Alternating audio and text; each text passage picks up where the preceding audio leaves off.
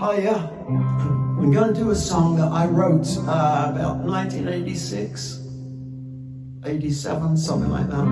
Um, I thought it was a demo that I did actually, but it was recorded in the end. Uh, it was recorded by Frida from ABBA. And um, I've done a new version of it actually, so I've got a track here, which I'm going to play and going to attempt to sing as well. This is similar to my demo. I've added a bit, but uh, this is called I Know There's Something Going On. Phil Collins did the production on this, well on hers.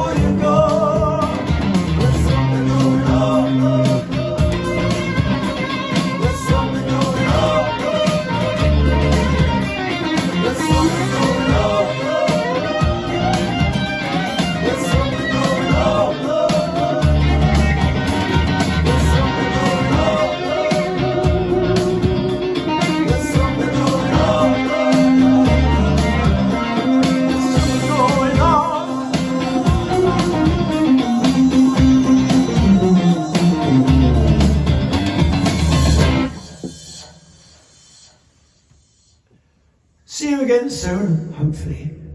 Lots of love.